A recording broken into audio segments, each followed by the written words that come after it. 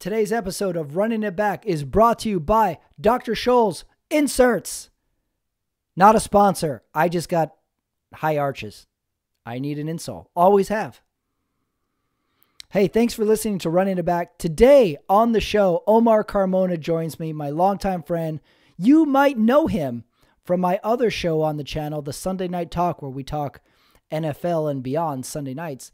But he is on Running It Back this time. I've been wanting to do one with him for a while. I have known Omar for a long time, and we wanted to pick a topic to talk about that is poignant to sports, the times that we are in now, and break it down. That's what we did for this running it back uh, on this episode. We ran it back to 2001 this is post 9 11 by a month and a half. World Series, the first pitch thrown out by then President George W. Bush. It was a moment in the country where things were at a bit of an unease, like it is now. The country was figuring out who was going to take the leadership role. What was that going to look like for the foreseeable future? I thought that was an interesting time in the country related to sports. It's a time I experienced as a young person. Omar did. We were in different parts of the country as well. So we sort of dove into our reactions of it, where we were in life, and then also where we were in 2001, before that, leading up to it, and after it as well. We do a bit of an interview with Omar as well, which was really good to dive into Omar's career path. Really fun stuff. Hey everyone, don't forget me performing stand up comedy soon. As you listen to this, I'll be performing Saturday, November 28th on the Flappers Comedy Club Zoom show. Yeah, everything's on Zoom these days. This is the way it's going to be for a while, so it's still pretty fun. Coolest thing about it is anybody in any town can watch it. So you can see me do comedy on the 28th. I think that's a Saturday. Hey, that's a Saturday after Thanksgiving. There's going to be a lot of things to talk about. So, so running it back, this episode with me and Omar Carmona, man, did we dive into 2001 and beyond. The first pitch from the World Series, Game 3, Yankees versus the Arizona Diamondbacks a moment in time. Me and Omar, here we go.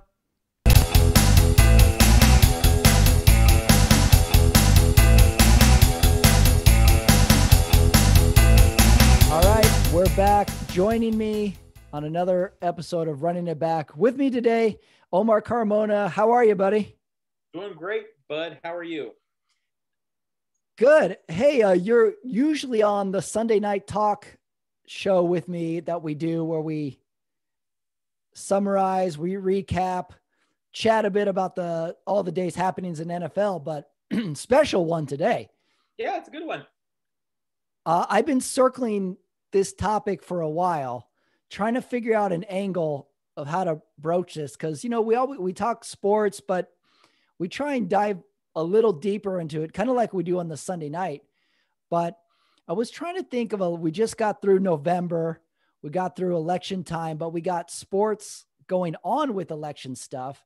Right. And I wanted to think of another time that sports played a big role in an American time that was, I guess you would say, a little bit fragile at the time. I, That's why I'd say very fragile. Yeah, we're in a fragile time right now, and it's sort of interesting how we're balancing sports with it, how the players are, how viewers are. And I was thinking of another time that we were close to this or similar to it. And for this one, you know, I thought of um, the George W. Bush first pitch in the World Series. This was after 9 11, 2001. Game and just sort of what that meant. It, it, it was the first game in New York because remember that year the Diamondbacks had a better I guess they had a better record, so they had home field advantage. I guess you want to say. So game three was the first. Uh, I mean, I know there was some games after September 11, but that was the first real New York is alive after 9/11. Right. That, that, that that was the that was the biggest sports moment that New York had right after the tragedy. It was so it was so big for many many reasons. I was trying to think of my thoughts around that game at the time. This is 2001. So 2001, I'm 21 years old.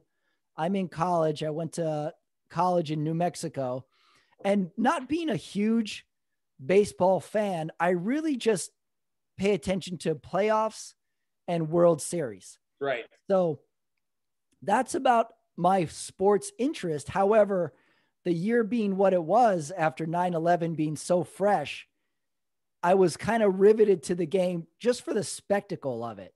We had New York, and then the president of the United States is going to throw the first pitch.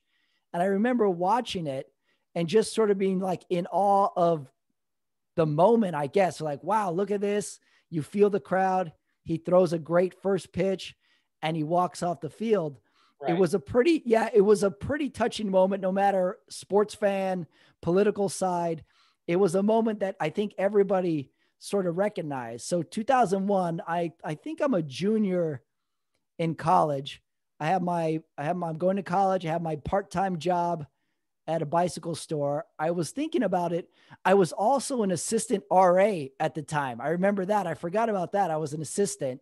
So I had my I had a sweet dorm room all to myself. And I think I just sort of watched it by myself in passing to uh, just the game having it on.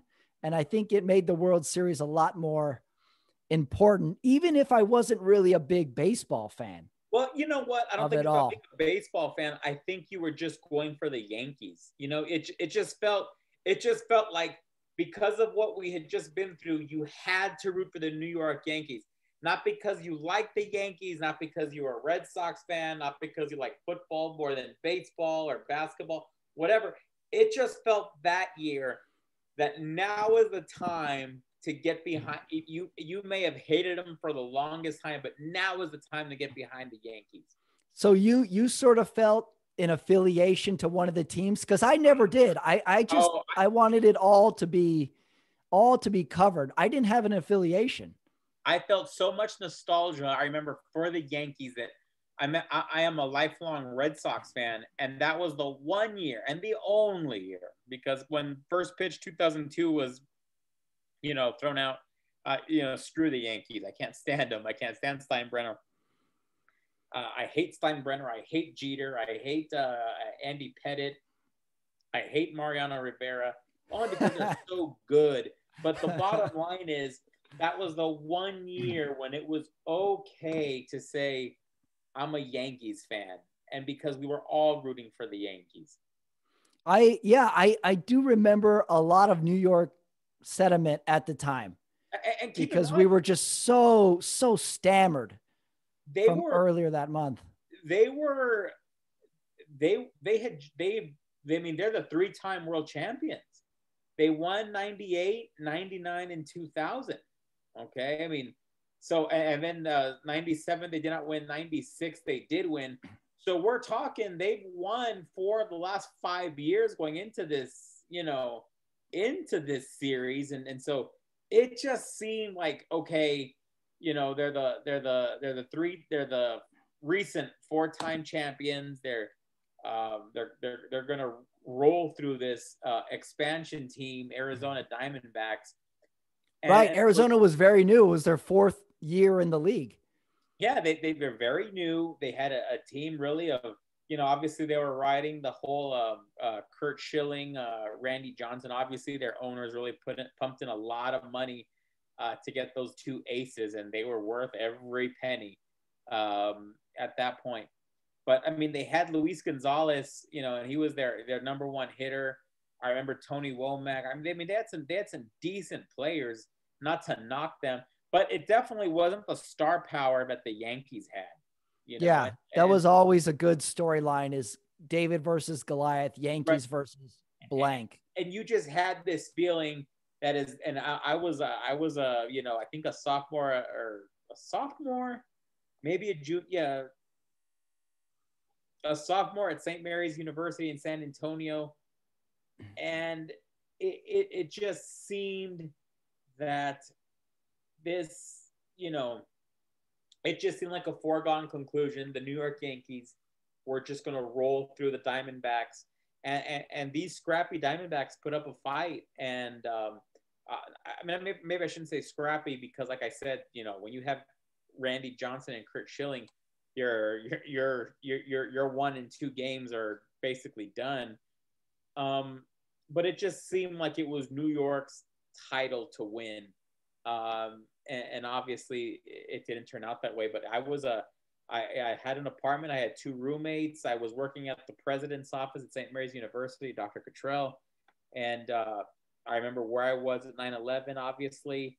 And uh, I, I remember that you know up until these last couple of weeks of obviously what's going on here in our country right now, um, I hadn't seen the news uh, you know, before these last couple weeks with the whole election thing, I hadn't seen the news this much since those few weeks right after 9 11.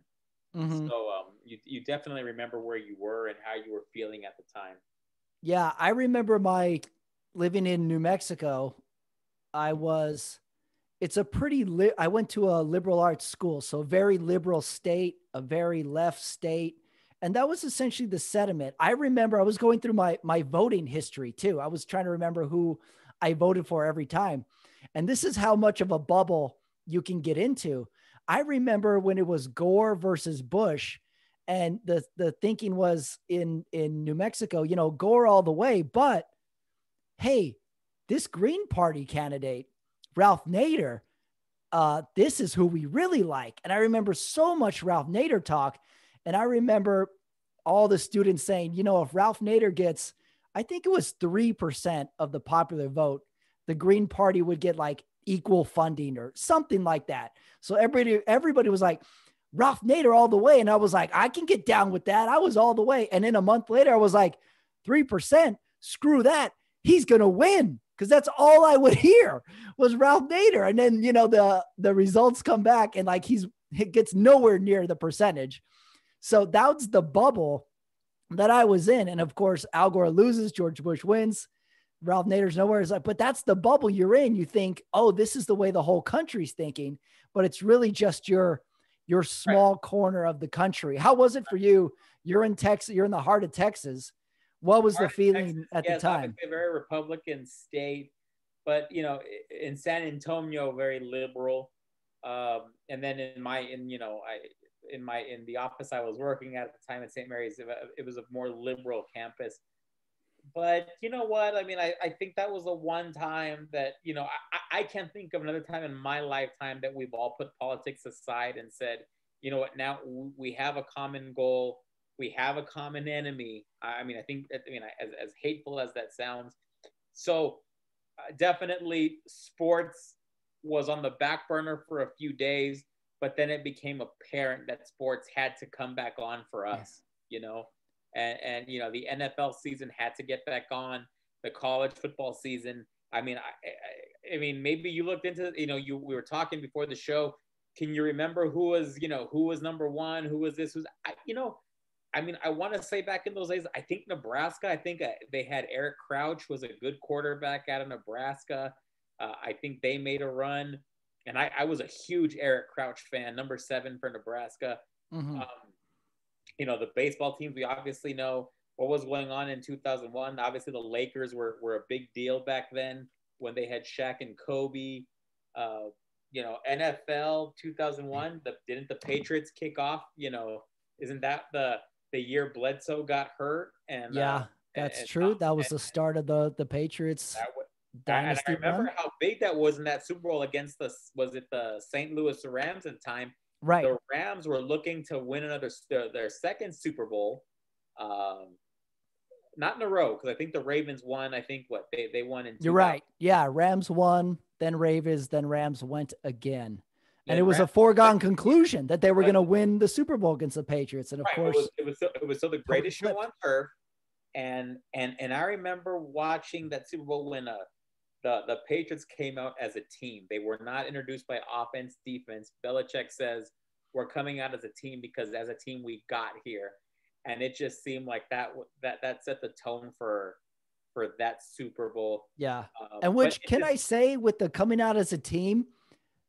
Uh, what what a what a dick move though. If you're the Rams, like at least tell me, Patriots, if you're gonna come out as a team, because yeah, then yeah. we look like the jerks. Yeah, we look like jerks that we're all about me, me, me. We yeah.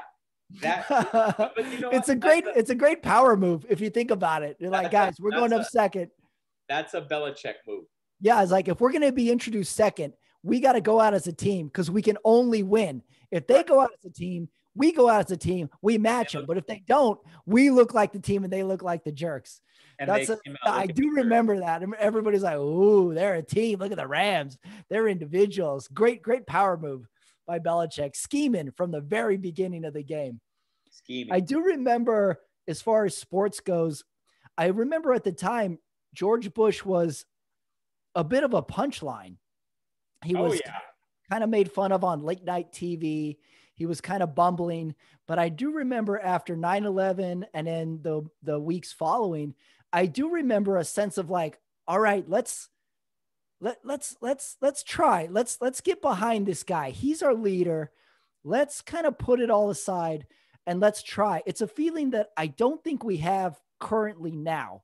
I don't right. think we have we can put that aside now because we're so so much uh, so much divided. We've dug our heels in with whatever side we're on. But I do remember right. at the time, we're like, all right, I can get behind. I didn't vote for George Bush, but I was like, I can get behind this guy. He's being a leader in a good sense. So I do remember a tiny bit of optimism at the time. It was like, all right, let's all let's all pull in the same direction here. Right. There was the there was the ground zero speech, and then there was the first pitch that I think was, if you had to pick a moment, the best moment of his presidency, it has to be one of those two. Yeah, I would sure. I would guess the the bullhorn speech or the first first pitch um, speech or first pitch at the at the Yankees game. For tonight's ceremonial first pitch, and please welcome the President of the United States.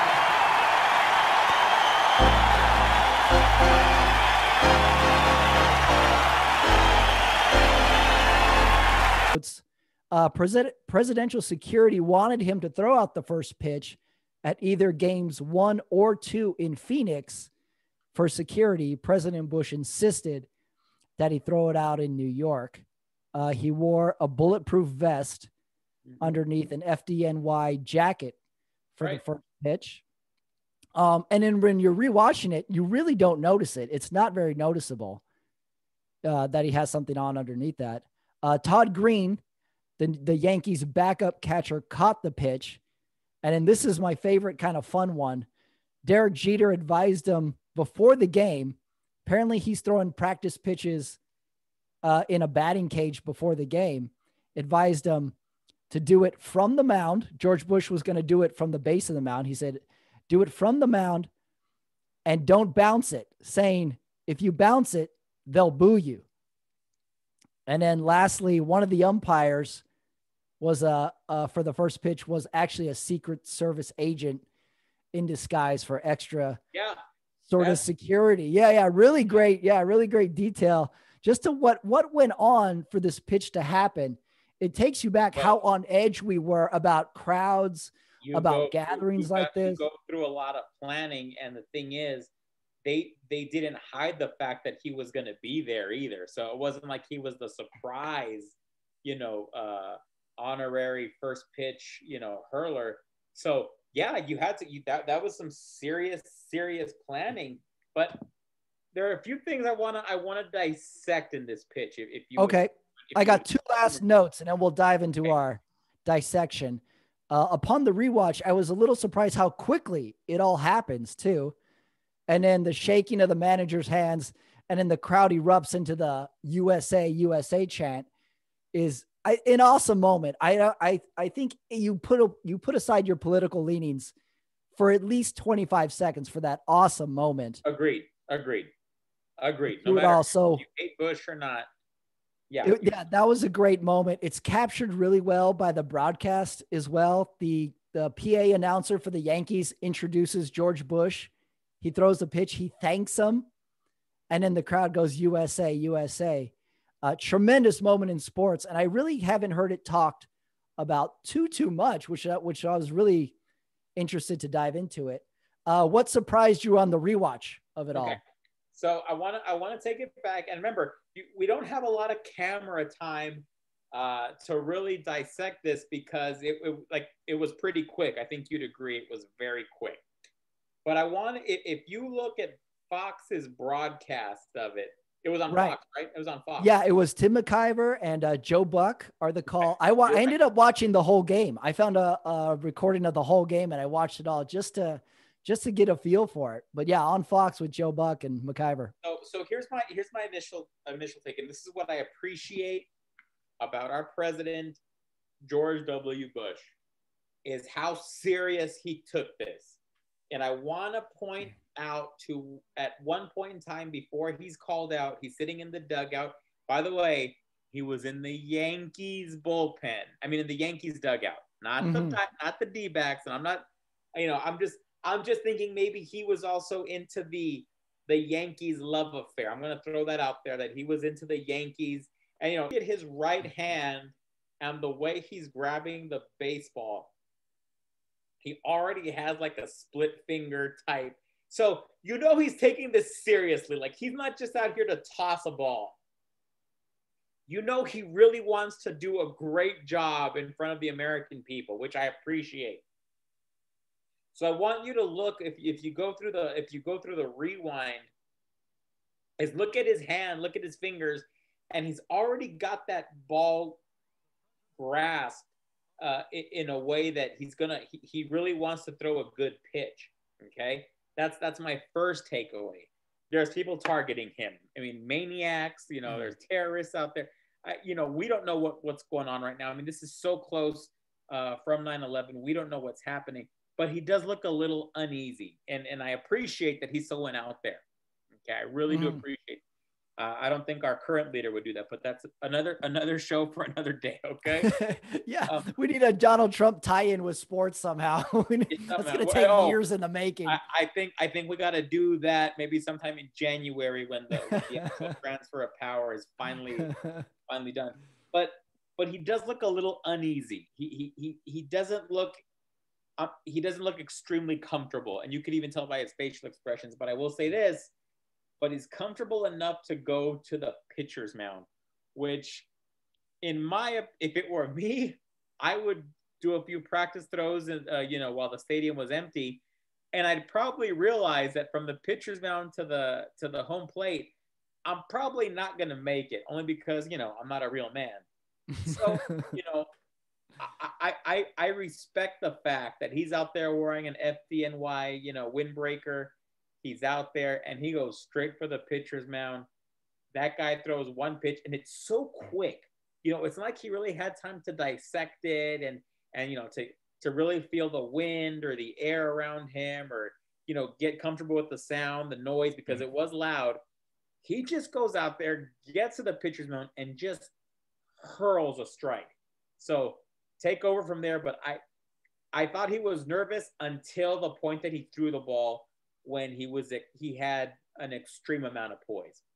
Yeah, it's interesting. You said you you saw a little nervousness in him because I was gonna say the exact opposite. Like he goes out there, he's standing tall, and then I think about it how quickly he goes into his windup. Uh, the he beats the camera. The camera has a tight shot on his face, and then he goes into the windup, and the camera has to switch real quick, and that makes sense. Like he's nervous, he's speeding this up what, what, what's throws, crazy, he, he throws a look, perfect strike. He's looking around. He looks at the crowd. He waves, and then it's wind up and he throws right into it. Yeah. I mean, that's insane. I mean, I, uh, I mean, that's a great pitch. Yeah, I I didn't see the nervousness until you brought that up. Uh, when I was like, oh yeah, he was moving fast. I thought it was like, yeah, there, would be some nerves in there. Pay attention to the nerves from the dugout to the walk to the mound. Then it seems like he gathered himself for a split for a split 2nd Mm-hmm. But but again, if you look and then if you look afterwards, he meets up with the managers of was it Bob Brenly and Joe Torre, and and, and didn't it seem to you like he was he was a little more he was a, he was leaning a little more towards uh, Joe Torre. It, that, that, that's what it seemed to me. It, it didn't yeah, seem like the Arizona guy gets him first. He shakes his hands first, and it took a few feeds of, of me searching in YouTube to hear what the manager says. And the Arizona manager says, he says, "Good stuff, Mr. President. Good stuff." Like he's pumped. And then Joe Torre, there's no audio on Joe Torre or anything. And then when they pose for the picture, the crowd starts the USA chant.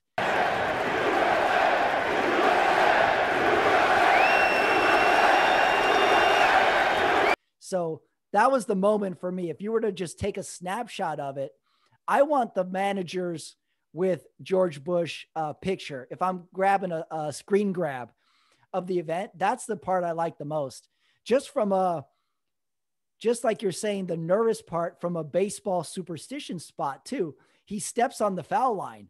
You know, I think most players superstitiously don't step on the foul line when they enter the diamond. You know, he steps on the foul line, so he's not looking down, straight to on top of the mound, throws it. And then I was thinking, if you're the guy catching the first pitch from the president, you got to be nervous out of your mind too. You got to think like, all right, first pitches are always a little wild. Who knows what's going to happen? What if he hurls one in there? The catcher, the backup catcher who caught his pitch, underrated, underrated position catching that pitch. Kind of, kind of interesting to it all. Yeah, and then uh, the uh, PA announcer gives him the thank you, the thank you, Mr. President, um, right. in the the famous New York Yankees PA announcer. Thank you, Mr. President. And kudos to Buck and McCarver for just letting the moment simmer. They right. don't chime in. They don't speak till well after, and, and uh, they they could have let it even go longer too you know one thing about one thing about both those guys, uh, McCarver and Buck, is, is, is I think they've always been uh, respectful and appreciative of the moment that they're in, uh, and I will say that about th- especially those two guys. Yeah, I think Joe Buck has mentioned in interviews before that he modeled a lot of his a lot of his announcing after uh, Pat Summerall, who would let the moment sit. Oh, absolutely. Yeah, he, there was uh, so you watch old Pat Summerall, John Madden oh, games. Oh yeah, there's a lot of silence. Oh, when the crowd's going, Pat Summerall lets the crowd. He lets he lets the audio pick up the crowd for a long time before he finally says something. Yeah, it's a, it's a counterintuitive thought with announcing is I gotta feel something with words, information. But yeah, Summerall and then Buck has mentioned that he's taken from that script is let the moment sit and really let it come through the screen. So kudos to him and McCarver for not talking over uh, a great, great moment. Unlike yeah. an un, no way of knowing this. How fast do you think that pitch came in to the catcher? 70. 70. I, I'm asking the question. I'm thinking like, I can't even make an estimation. I know what a fast pitch goes oh. for, oh. but I don't know what an amateur pitch would go for. I'd say maybe just a little less than 70. You know what is really tricky about say someone told you or me you're going to throw the first pitch at a baseball game. You and me would probably say like, "All right, well I'm going to prepare in the backyard. I'm going to warm up. I'm going to get a you know, I'm going to get get a sweat going. I'm going to get my pitch going." Right. But when you actually throw the first pitch, you go out cold. It's not like you throw a few practice ones. Like go out there, you got one pitch. Uh, that's really hard to do. And then secondly, you don't have a glove on the other hand. You're throwing it two bare hands. I think that's a little unnatural to people too. If you're throwing a baseball, As you expect a glove on the other hand, but not for a first pitch. They typically don't go out with a glove. Right. Yeah, it's a great tradition that first pitch. I guess the coin toss, the celebrity coin toss for like an NFL game is the equivalent, but nothing beats that first pitch because you have to physically do something and there's an end result. Did you do it right. well or did you do it poorly? Exactly. Yeah, I'm trying to think of other moments in crucial American time that kind of revolved around sports. I don't think there's too many of them out there. It takes some deep research to really find something. I'm thinking right off the bat, the um, the game after the earthquake game uh, with uh, Oakland A's and San Francisco Giants. Although I can't remember a moment, but I do remember getting back to baseball. That was big. Um, the New Orleans Saints back Oh, from the- the Katrina the Monday Katrina. night game would be would be another one but it's it's really hard to time these things up with some sort of national tragedy that really turns a corner with a sporting event so that yeah that's a moment everybody should go back and rewatch that on on youtube there isn't too much kind of oral history on it or documentaries on it which i was surprised i found one little snippet of it where players are are talking about their reactions to it but there's not too much about it it's a great moment Right. It was a great moment. Absolutely. i got a few um sports happenings from that 2000 that 2001 era so the arizona diamondbacks go on to win that series they win the world series over the yankees that year uh super bowl we mentioned it the new england patriots win the super bowl that year kicking off the dynasty Yep. uh not to mention same same year as the infamous tuck rule Yep. That's was year. that was that playoff run. You know what I always forget about that playoff run with the Patriots is that conference championship game they play against the Pittsburgh Steelers. Tom Brady gets injured and Drew Bledsoe has to finish off that game. And, there was question whether or There was a little Brady- Bledsoe talk. There was there was question whether or not Brady would be ready for that Super Bowl. Yeah, yeah, that was a that was an interesting tidbit. I forgot about that. I rewatched that game a couple years ago. I was like, I forgot Bledsoe has to come in in relief for Brady, and he actually plays plays pretty good. Uh, NBA, the Lakers win the championship. They sweep the Nets Dynasty. that year. The dynasty full full full swing. LA Laker dynasty. Uh, Tiger Woods wins the Masters that year. Uh, big, Um, surprise. big surprise there. This is yeah, this is another Tiger Woods dynasty time. Um okay, best picture. Who do you think won best picture? 2001. This is um 2001. Yeah, so the Oscars happened. I had to look it up. This hap- the Oscars happened in 2002, but this is Right. four movies of 2001. Okay, bear with me here. I want to say that in 2000 it was The Gladiator. Now maybe you have the list there. I don't know. I have it. Yeah, yeah, I have the the answers. Okay, so okay. I don't think Gladiator was 2000 wasn't Gladiator Gladiator earlier? Was it I think 99. Gladiator might I think Gladiator was 99. Okay, I, I, I'm gonna say the 2001 Best Picture, A Beautiful Mind. Was I? Am I off? You got it. It Beautiful was mind. Beautiful Mind. You got it. Sweet. No, no research, folks. No research here. I don't know how you pulled that. I was looking him up and I was like, "Ah, I don't even remember. I couldn't have guessed this one. Uh, best actor. Who do you think got best actor? 2001. Shit. Uh, I, I don't think it was Russell Crowe, although I, he, he was great, but I, I don't think he won it the same year. Um, right, give it to me. Denzel Washington, Training Day. Ah, great movie. Yes. Yep. Yep. You want to take a guess at best uh, actress? I'm gonna guess again. Um,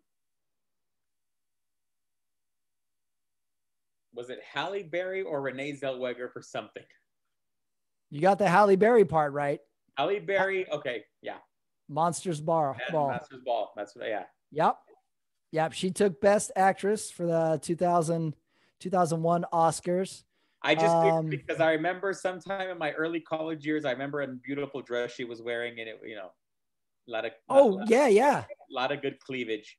Definitely, definitely peak peak cleavage, peak uh entertainment tonight television coverage For sure. of the I remember- Oscars. I remember Peak, Halle uh, Berry was somewhere there. Peak uh e entertainment red carpet coverage too, I might I might add. That was a heyday of e entertainment channel. It's so it's so weird you think about it. Um we have lived through a whole genesis of a TV channel. Do you remember when the E channel first came out? Oh yeah, was, Remember Uh, the E channel came out and it it was, was just nothing- movie previews? it was that it was nothing but movie previews, um, it, it would be like three weeks before of the release. It would be like inside Lethal Weapon three. You know what I mean? Yeah. It was like you know it was we're just the- pulling, pulling we're for ideas. with, we're on the set with Danny Glover and Mel Gibson, you know, for Lethal Weapon three, and, and oh yeah, I remember it was it was so great. Uh, Joan Rivers talking about all the the dresses and the fashion police, um, and then of course she brought in Melissa Rivers and Howard Stern on the, Yeah, which was they a huge turning point for me because that's how I sort of got reacquainted with the Howard Stern show because they didn't carry the Howard Stern radio show in our hometown where we lived. uh, they, they well they did for a while. They did, and then they cut it. And then- and multiple there was a- there times, yeah. problem because of uh, Selena and all that. Yeah. stuff. People should know our hometown of El Paso, Texas. Selena, the Selena tragedy happens. Howard Stern makes fun of it. The next day, Howard Stern is cut from El Paso, Texas. they did not After- take that night, take that well. But after they they aired and aired and re-aired and re-aired his apology because he did apologize for it. Oh, I don't remember that. Yeah, he did. You'll probably you could probably find some video of it. I'll have to look that up. Yeah. So then E the E channel starts carrying Howard Stern, which was just was just um video of him doing his radio show. Yep. And that's how you got your Howard Stern fix in. That's how you kept up, which was really crazy because it's a radio station and you're watching it and you can finally get to see what these people look like.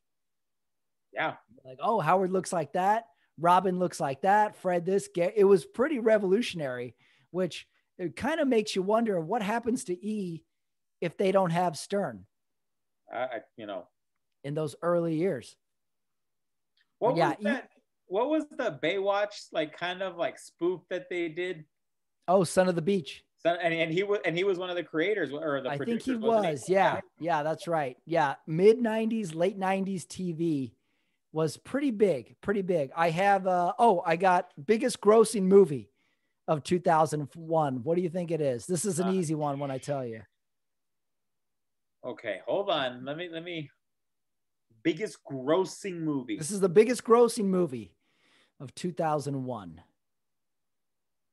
Okay, if, if for sure Armageddon, I want to say was '98. I'm trying to work myself.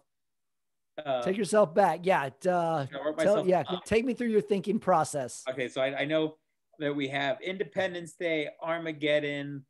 Oh, I want to say I'm probably wrong. I think I missed it by a year. Star Wars. Um, one of the Star Wars was it the third one, the first one? Uh, no, second you're one, wrong. Second one, second one, second one. No, you're you're so wrong. It's Harry Potter. Oh, the first Harry Potter. It has to Harry be the Potter. first one, right? Uh, I'm not sure. I, I don't know my Harry Potter canon. It had to have been Sorcerer's Stone. 2001. It, I, it had to have been. That was the biggest grossing film. Uh, what else do I have? Oh, top TV show. What do you think the top TV show? I found a few candidates for this, but this one seems to be the consensus top TV show. Top TV show. I mean, are we talking primetime show? Um, let me see. Let me look at this title. This would have been this would have been prime time. Yeah. I don't think it's a um, not American Idol because that thing came out I think in 2002. Hmm. Top TV show West Wing. Um, you're close, sort of in the genre. 24. Oh yeah, yeah, absolutely.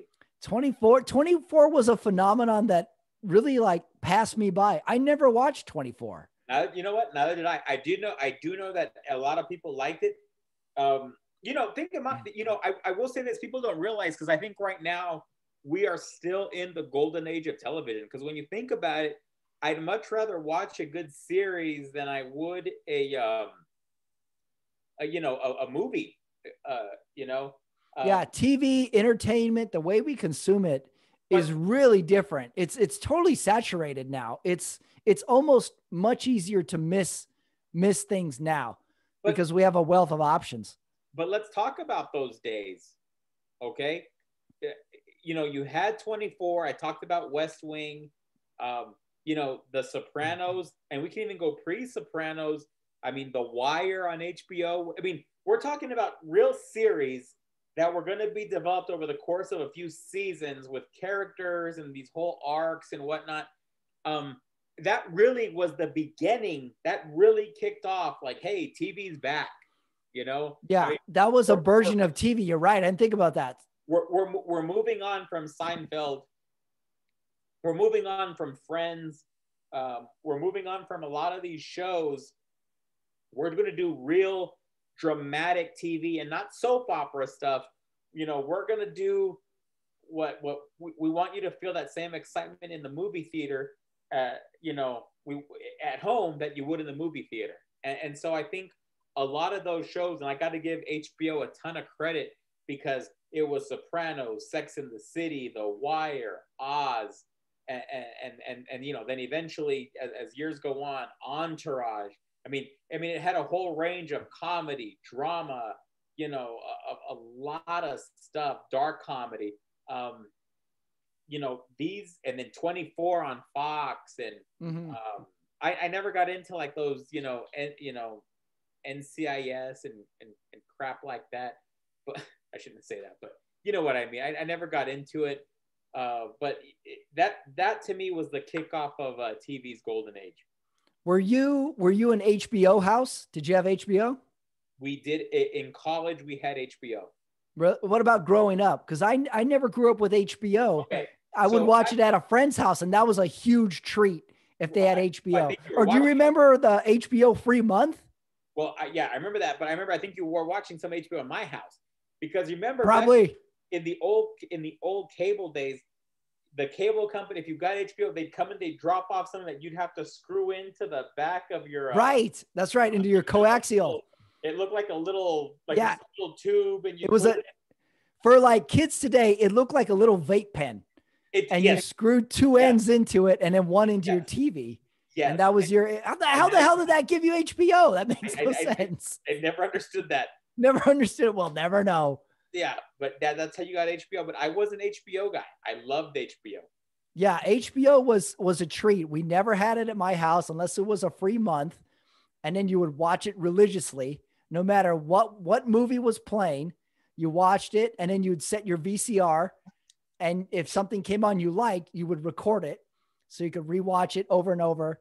So you would watch the movies, and then HBO would enlighten you to their original programming, and you'd be like, "What the hell is Dream On?"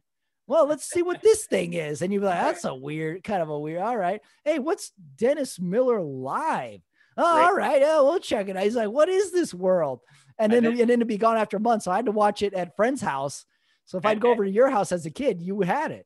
And then if you were up late at night, you know that that far into the night, then it'd be like, "What's Beverly Hills Bordello?" What's Poison Ivy 3? Who is Shannon Tweed? there was there was great great potential for skin late at night on HBO.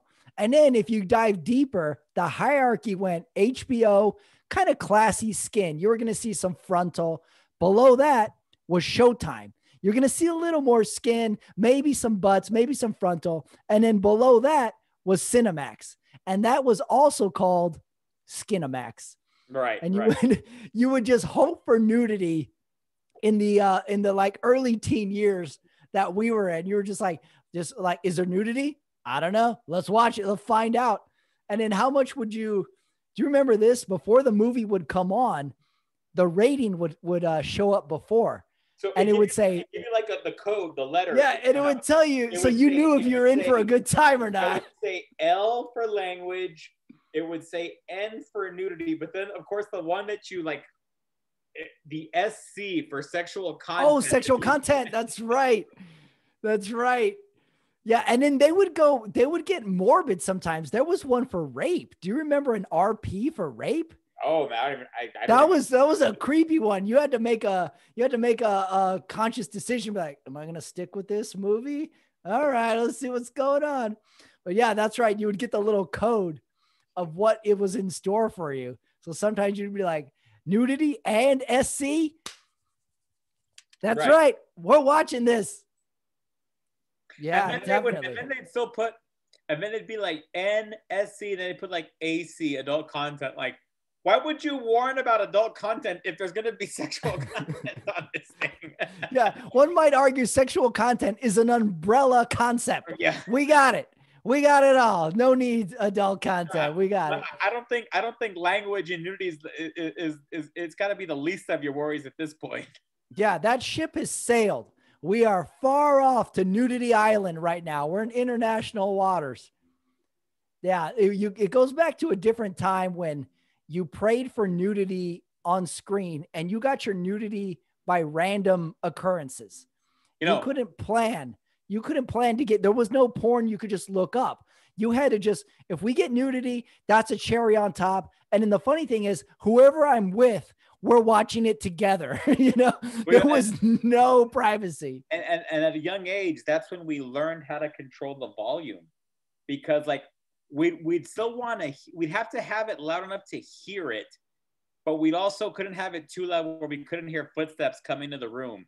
And, right, and that's true. In, and busting in on our TV watch, our, yeah, our if, TV watching. That's right. If you were sleeping over at my house or I'm at your house, we had to be on the watch out for our parents coming down. And then eventually we got smart and we would have a safe channel on the recall or flashback button on the and remote. It, and, and, and you just right flip back, it. And it would go to, to the, the, the midnight sports center show. Right. We would just flip it to something safe we wouldn't get in trouble for. And then like it, it begs the question, did our parents know what we were doing? our parents aren't that dumb. They wouldn't know we were up to something, giggling our heads off at 11:30 at night with a glowing TV screen. Yeah. I don't know how we I don't know how we pulled it off. Do you remember? Here's a thought I just had. Do you remember number one, the first rated R movie you ever saw? And then number two, do you remember the first time you saw nudity in a movie? I remember my nudity one very well. Okay, let me see if I can think about this. I think the first rated R was not was not a, a anything sexual. God, Lord knows it wasn't sexual. But I, and and maybe I'm wrong, but what wasn't uh, Nightmare on Elm Street a rated R? I think so. I mean, that was my first rated R movie. I think I saw a Nightmare on Elm Street, the original. Um, I, I, I was was Breakfast Club rated R? Oh, good question. I don't think so. Was it PG thirteen? I want to say Breakfast Club might oddly have been PG. Remember in the '80s they didn't have PG thirteen till a while. So I think those are my first my first adult movies. The first time I saw titty had to have been a Steven Seagal movie. Which one was Steven Seagal? People forget Steven Seagal was legit for a brief amount of time. Steven Seagal was a legit karate master action figure for a couple of movies, and then yeah. it, and then it fell apart. Right. Um. Oh, you know, I can also think. Of, I, I I I will tell you the first time I did see nudity on TV. The woman in red with Gene Wilder and Kelly LeBrock. What movie's or that? Lady, or, or Lady in Red. But it was a guy that was cheating on his wife with this like supermodel, and his whole the whole movie was the build up to him having sex. And right before he had sex with her, something just went wrong, and he ended up like jumping out of the out of the building uh, onto like a trampoline or something or a net, something like that. so you saw, you almost saw comical nudity. It, well, it's comical. It, it, was the whole thing was huh. a comedy. Uh, but but for sure there was a moment that you saw Kelly LeBrock's chest. Really? Yes, that was my huh. first. That was my first nudity. I remember. Let's see, my first rated R movie, I think was Delta Force, okay. and Uh, we didn't even make it all the way through the movie. It was too violent, and somebody turned it off. We couldn't watch it all, but it was a little enlightening because at some point like bad guys just shoot innocent people on a boat or something. And I was like, oh man, shit goes down in these movies. Nobody, nobody's safe in these movies. So I want to guess it was Delta Force, but seven minutes of Delta Force. Okay. But first nudity, me and my brother rented Revenge of the Nerds. Oh and yeah. Talk Yeah. about diving into the deep end. There was a very extensive nudity scene in that movie. And it was just kind of like, what the hell is this? And of course, it's every boy's dream because the way you see the nudity is the nerds install a secret camera into the girls' sorority house. right. So it's every boy's dream to install a camera and have a secret mission to actually achieve achieve scene nudity. So that was yeah, that was my first time I saw actual nudity on screen. For sure. Revenge, Revenge of the Nerds, the classic. That is a that is a movie that is probably not aged too well, but I defy you to not start laughing during that movie. Movie. Revenge of the Nerds, HBO. Yeah, people will never know the lengths you had to go to to find nudity in the Right. early early 90s. There was also a time where cable TV late night would offer you kind of just like scraps of nudity. They would show you a, mo- a movie that had nudity, but it would be it would be cut out USA So- up all night.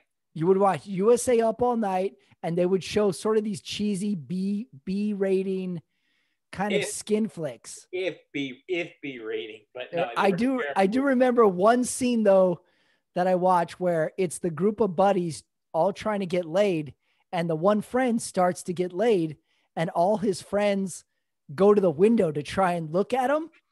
And uh The last American Virgin. was that it?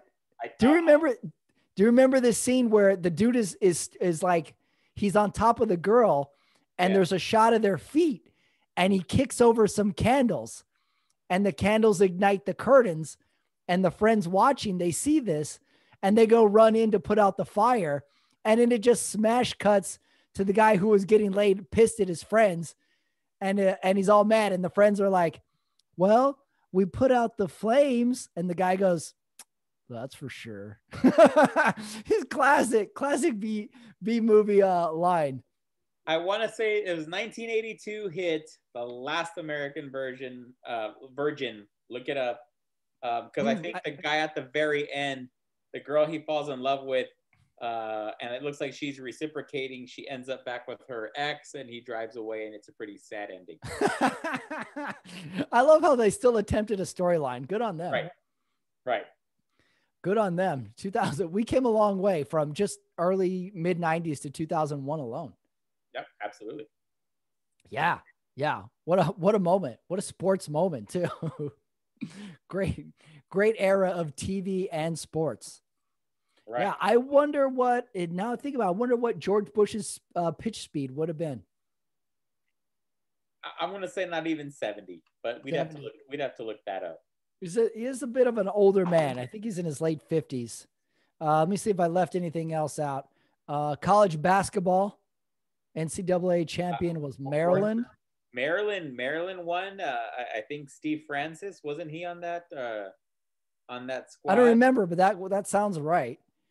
Uh, college football, Ohio State is the national champ that year. Well, don't remember much about that. team. 2001 that they played the championship in 2002. Right, right. I looked up. These are 2002 champions uh, Okay. because the season would have been 2001. Yeah. So Yeah. bas- uh, basketball and football are are like that. Oh, that's a little. It's a little tricky with the turnover of the year there. Right. Um, let's go back to the president uh, pitch stuff. Did you watch that World Series at all? Yeah, I did. I think that was the height of my World Series viewing was this I mean- era and the Boston Red Sox when they finally won the World Series era. Yeah, I would sure. watch I baseball. was in my first. I was in my first year of law school in the Red Sox. That I'm, a, I'm of course a Red Sox fan. But I, I think what what Why the Red Sox me- affiliation? Why do you like the Red Sox? I was born in from- Quincy, Mass. So You were? I, I've always, yeah, Quincy, Mass. I don't even remember this. Let's Yeah, let's go through your your and I's history. We have known each other since we are about five, maybe five years old. maybe, We went to the I- same and I school. think- and I know you were born in Georgia, and Yeah. and, and I was born in Massachusetts, and we ended up meeting in El Paso, Texas. So you you, Right. you don't know. where both our families are from. Uh, so we grew up together in the same school all the way through high school, and then we went to different colleges. Right. Uh, but you were you're a Boston fan because you were born in Massachusetts. How were you born in Massachusetts? Uh, long story, but I was there. I was there. Long story. I was there. But you know, uh, but I, I, you know that. But that's the only New England team I really, uh, I really took out. I, I you know I've never was a wasn't really a Patriots fan. I think when I moved to San Antonio, I want to say that when I was growing up, I was a Lakers fan because I loved Magic Johnson. To me, he was the best. And then there was something about Michael Jordan that I loved, but I wasn't really a Bulls fan. I just loved Michael Jordan. But, mm-hmm. you know, I wasn't really uh, into the team, the Bulls, you know. And then when Michael Jordan left um, and I moved to San Antonio, then I, I went with the Spurs and I'm a a huge Spurs fan now, but that came later in life. Um, uh, what turned me off about the Lakers is when Shaq went to the Lakers. Oh, I, I see. I just, I just didn't like him. So I didn't like Lakers. that acquisition. I didn't like the acquisition. Um, but uh, Niners, I always loved since I was a kid, as you know that. But Red Sox, I just, I just, I just always really liked the Red Sox, even from the beginning. Uh, maybe it's because I was born in Quincy, which is right outside of Boston. Uh, who knows? But I'm, I'm a huge Red Sox fan. Um, so, but, two, 2001, you're in, you're doing your undergrad, I assume, right? Yeah. In San mm-hmm. Antonio. Mm-hmm. What was the plan for you then? In 2001, was, junior or sophomore in college. I was trying what, to get out undergrad of in. I was trying to get out of college as soon as possible. Um, uh, only because I figured in high school you know, because we went to an all guys school and I wasn't getting laid in high school. I figured get to college and get laid, but then I come to find out that I wasn't I wasn't getting laid in college either. So I figured out, well, you know, maybe get to law school and maybe you'll start getting laid. Um, so I had to get out of law school as soon just gonna just imagine this keeps going. I couldn't get laid in law oh, yeah. school. So you know, it's like you know, I gotta, I'll, like, I'll invent streaming television. He's like, you, you I'll probably get laid there. Yeah, you got to become a lawyer and get laid. Um, and so, um, but anyway, uh, it, it, was definitely. Uh, uh, I was in I was in college. I was trying to get through college as soon as possible, and uh, at the time, big Spurs fan. And you know, we're, we're I was a poor college student, so I didn't have like you know NFL ticket and all this stuff. So uh, on Sundays, I'd watch the Cowboys because that's what you watched on Sundays in, in San Antonio. Um, you know, Red Sox. I just just a huge Red Sox fan again. Yeah. Uh, what was your undergrad in? Uh, political science, which is basically a blow off. I, you know, I think I don't know what it was that people talk you into. Well, if if you're in political science, you should go to law school. That didn't help you at all. I mean, political science is definitely a blow off for me. Um, although I took, I did take, I did meet some interesting people.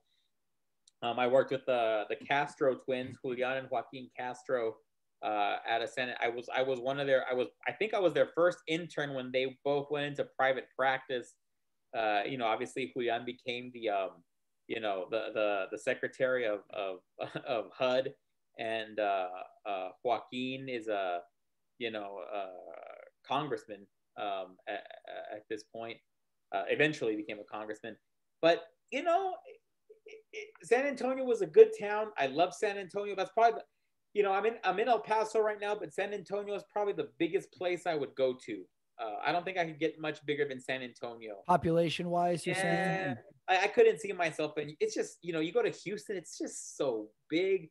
But I can see why a sports center would want Houston. You got the Rockets, you got you got the Texans, you got the the Astros. I think that, that'd be pretty fun. But I'm I'm happy where I'm at. How about you? Yeah, well, I I see LA the. Now. Yeah, I live in LA now. I've lived in a bunch of cities, and I definitely see the that medium market city is the sweet spot. The uh like 10 years ago, it would have been um Asheville, North Carolina. 20 years ago, it would have been Seattle. Uh, I've lived in middle market cities like Salt Lake City. Uh, so that middle market city is where you want because everything is livable. Um, cost of living, the cities can have all the amenities you want of a big city, but with none of the trappings traffic, pollution, so crime, you don't, you don't, things like that. Feel, you don't feel overwhelmed. Yeah. And then at some point, all those cities get discovered, and then you have to start all over again. You Right. know, everybody will move from the major mel- metropolitan city to these places. And it'll sort of, so yeah, I hear you. That middle market city, you don't know how good you got it until you sort of leave it. And there's all the trappings of the big city. I live in, I've lived in LA for like uh, almost seven years now. And it's cost of living, it's traffic, it's everybody here in LA it moved here for a reason. So there's Right. ambition, there's goal oriented sort of people here too. And then you start discovering people actually grew up here. I'm Yeah. always astonished when I meet someone who's from Los Angeles. I'm like, you live in this? You grew up knowing this? It's it trips me out a lot too. So it takes a while, at least for me anywhere, to real to figure out where I'm most comfortable. It took me a long time to even feel normal and comfortable in Los Angeles, but the other cities I've lived in, uh, I got the hang of it in about a year. You know, you get your bearings in Right. about a in about a year's time. You figure everything out. So it's really really hard when you move somewhere and you got to reset everything in you. So it's tricky. It's tricky. The cities you see is, is really, really put some miles on you in a sense. It gives you perspective Right, for sure. to it all. Yeah.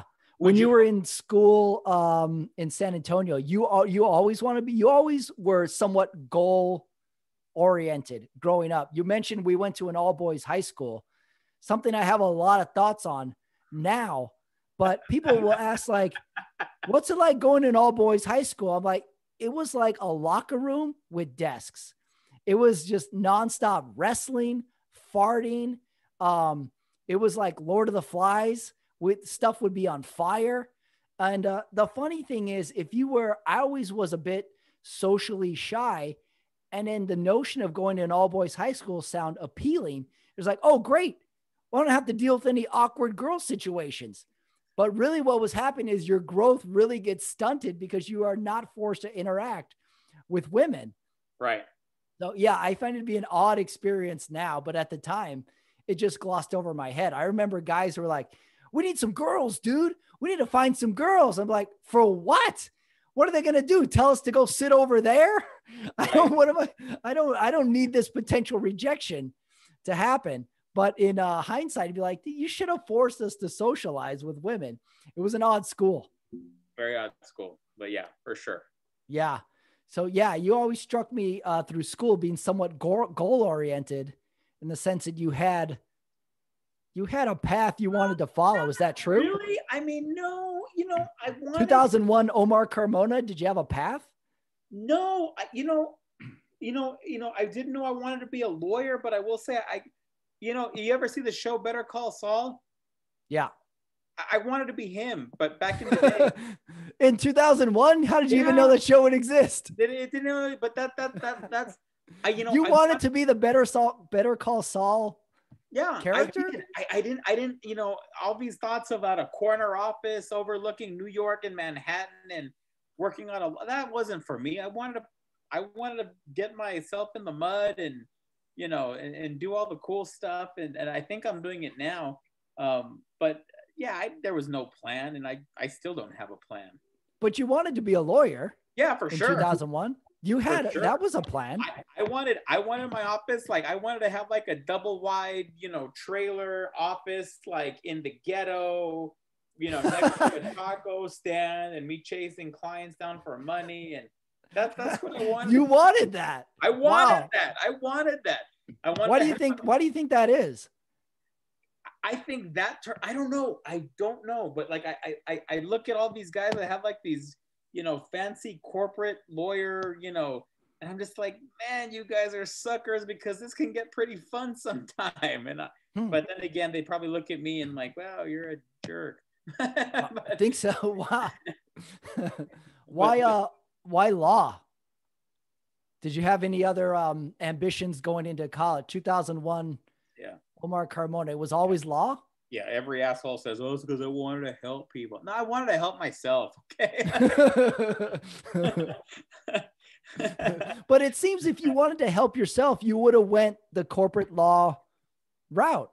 Am I Um, right? This, this, you know, what I'm doing today, defending criminals or defending the wrongfully accused. That that to me is helping. I, I get I get a uh, I, I get uh, extreme uh, an extreme amount of joy and pleasure doing that. So I'm I'm having fun. Um, it, it's it's a it's a great job, and I, I I wouldn't trade this for anything else in the world right now. So you made the right. Yeah, it seems like you're very you you um you're very content with the path, and it seems like you are living it. I get look, man.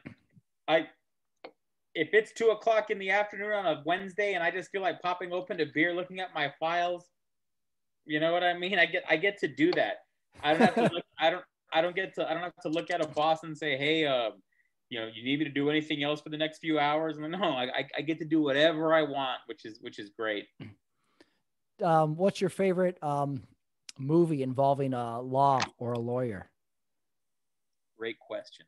Okay, this is gonna sound crazy, but every time I watch Matthew McConaughey's closing argument, this is gonna be very uh, uh I don't want to sound like a cop out, but Matthew McConaughey's close argument in A Time to Kill still makes me cry. Oh, really? I don't yeah. know that. Uh, yeah, I don't know that one off the top of my head. Although uh, I do, yeah, I do know that movie. That's a great movie. You got to watch the closing argument again. It's it's unbelievable. Let's uh let's close on that. Next time we do this, we got to do uh we got to do some lines from that movie. Let's do it. 2001, George Bush throughout the first first pitch. We watched sports. We were 21 years old at the time. Crucial time for the country, and I think that was a big pivot for the country. A starting starting of the healing. Although we were we were fresh off of 9/11 at the time, so it's it's interesting that the tie-ins to now that we're pivoting again with a change in change in presidency uh, people are divided, but I think we, we're still lacking that moment right now where we turn, sure. where it turns. So, and there's there's many reasons behind that, but hopefully, once we get this vaccine, I don't give a shit who takes credit for it at this point in time. Just please, just get us a vaccine. Let's move on, man. Let's get it out there. It's kind of like where the offensive line is shattered by injury and the coach says, I need anybody who can block. Get yeah. out there and block. Yeah. We need you. If if, somebody if our, runs if, out there. If, if our president wants to take credit for getting the vaccine, please just give him the credit and, and let's just get the vaccine out. That's all I care about. Let's let's do it together, everybody. Let's let's all get out there and block. yeah. Thanks, Omar. Peace. See you on Sunday. Yeah, for sure. See you there. That is the show, everybody. That is running it back with me and Omar Carmona, 2001 first pitch. Whoa, did we get into some subjects? I forget how much me and Omar know about each other. We've been friends for so long. So that was a that was cathartic, I think you would say. Great talk. Hey, if you're new to my channel, I want to thank you for listening to this episode, but I also want to encourage you to listen to me and Omar on Sunday nights where we talk NFL and beyond, categories, awards for the week.